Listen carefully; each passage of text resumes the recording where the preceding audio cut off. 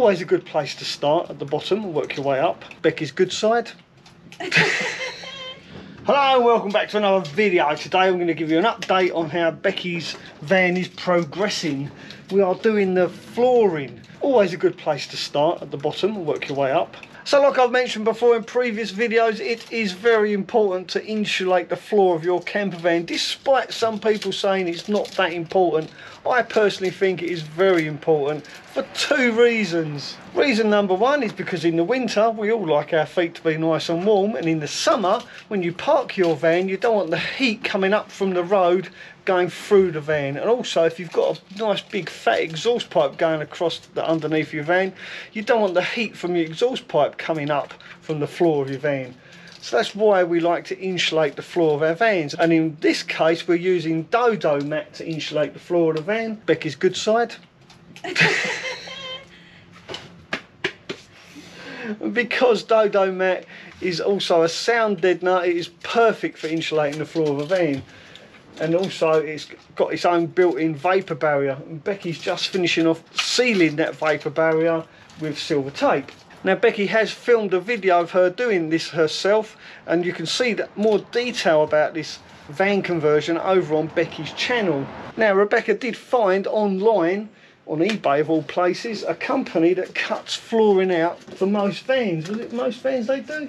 Yeah it was really interesting. There's loads of different models on there, yeah, that Yeah. you could get them to do. So Rebecca chose to buy this pre-cut, pre-formed flooring for her van. It just made perfect sense. It was so cheap and it's so so time saving. It just made perfect sense to buy this flooring. So that's it. That's what we've done. That's what we're doing now. We're laying this floor down on top of the battens. You can just about make them out underneath the silver foil. Rebecca was Duh. cutting out holes in the flooring to lay these extra pieces of batten just to support where these flooring actually joins.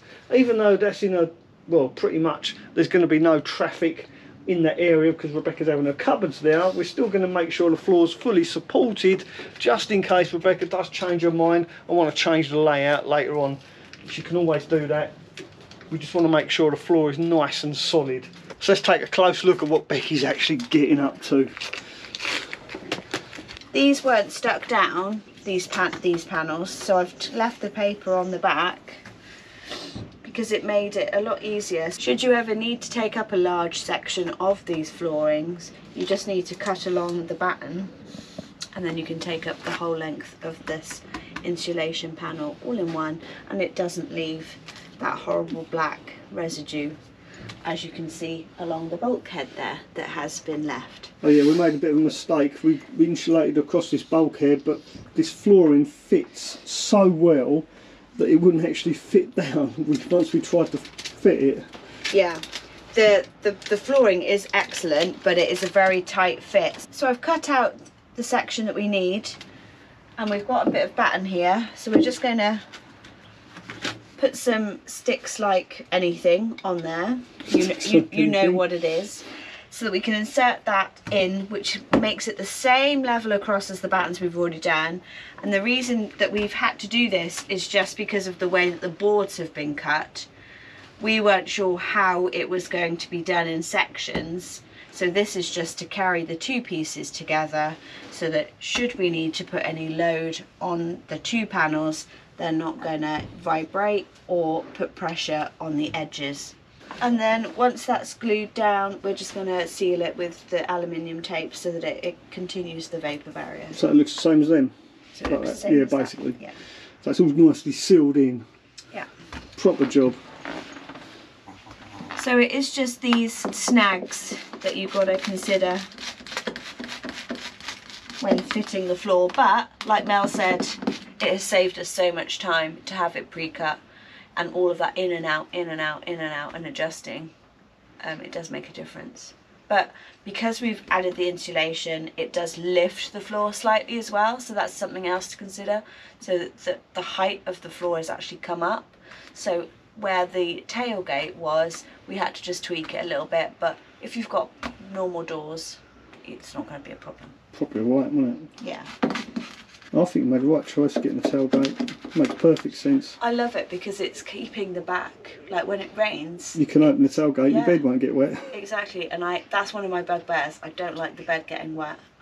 Really No, don't like nobody it. wants a wet mattress or a wet bed. Nobody likes a wet and soggy bed. Mel is full of good ideas. He is definitely the modern day Dr. Brown. And If you don't know who Dr. Brown is, you need to watch Back to the Future. Oh.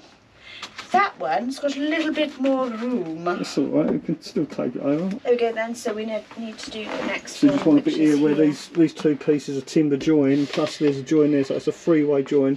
We're going to lay another batten down here to make sure it all fits nice. So we just Yeah. need to move that.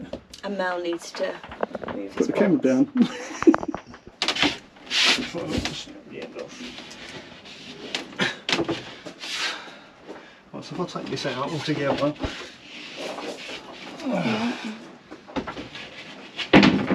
Right on top of Bob's stuff. Oh, and also this strip here is going to be used to screw the two pieces together where they where the two pieces of timber come together. We're going to have that underneath and just put some screws down just to stop it doing that. Yeah, keep it nice. That out. So I'll need to trim a bit of that off as well once you've laid the batten down there. Oh yeah, okay. Right, so let's get this final piece done in here. Yep. So right, we'll get back to you when it's actually laid and you can see what we've done. So like Becky said, we're using sticks like whatever. and all I'm going to do is put a bead of this down here. Like that. Don't need a lot because we don't want it lifting too much. Like that. In the hole she goes. Yeah, in the hole like that. This piece I've cut a little groove in because there's a bit of a rib there, so that's alright. You want to show the camera the groove? You can't really see it in the wood, but can you see it? There's a bit, of, a, Yeah. of yeah, a groove. That's it. You can see it. So that goes in there lovely. Same on this one because there's two ribs in the floor. I've made it a bit curvy. It doesn't have to be particularly neat. Like that. And then that goes in there like that. That's it. And that is it. Simple as that. Don't forget to release pressure. Otherwise it oozes out. Crucial tip for anyone who's not used a gun before. We simply cover the battens with our silver foil and that way it creates a vapour barrier like that.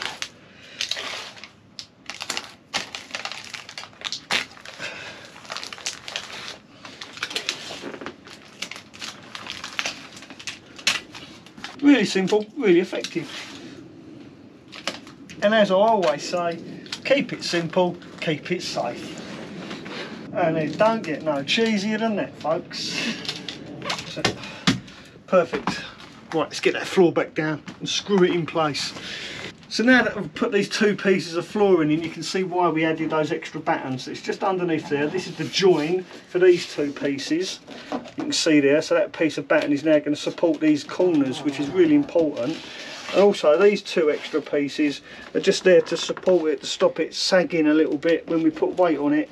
So when we put the last piece on, it'll all stay nice and stiff. And we put little pins on here, little marks. Using marker pen, we've marked it so we know where the battens are underneath. So we know if we put a screw there and a screw there, the screws are going to go into our battens. And the same when we lay the last piece of flooring. So let's get that next piece of flooring laid down and get some screws in and we can call this job done. There you go, dear. You done it? Yeah, I got it. Take the weight, uh, don't damage the floor. So we want to kind of go in that corner first, down, Hold on a minute, I'm just gonna, get it in I want to try and get it back over in that corner. That's it. We've got to, We've got to do it this end. I've got to lift it. Now get it in. Oh, That's it. sit and then sit. Should. Good. Down. Look at that. Spot on.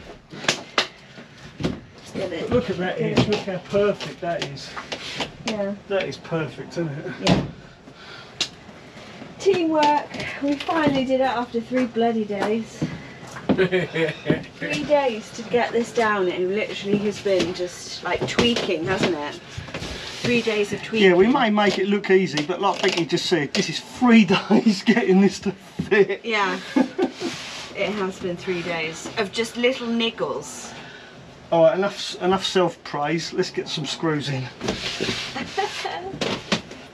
oh, look! I found them blades. Oh, well That was in my drill box. Oh, that makes perfect sense. We've been looking for them for a couple of days as well.